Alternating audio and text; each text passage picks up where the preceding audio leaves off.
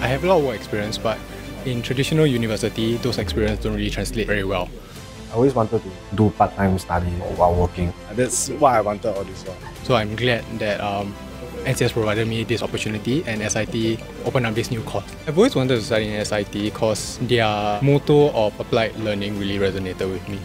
In CSM, you can choose the new skills that you want to take and we can also improve on the skills that we already have. It's better that we are rather than you learn on stuff that you don't really need. The CSM pathway for SIT is, is fantastic. It's a new pedagogy of how we think about work and how we think about study because we're not asking people to take time off work for long periods of time. They can study in bite-sized stackable modules and as they stack the modules, they might have a personal situation right along the way and they can take a pause come back again and then make their way towards a credited certificate.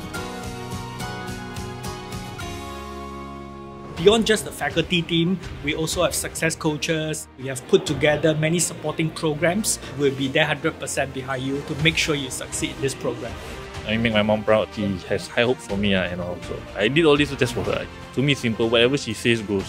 I'll be graduating as the first person in my family to have a degree, so that really motivates me.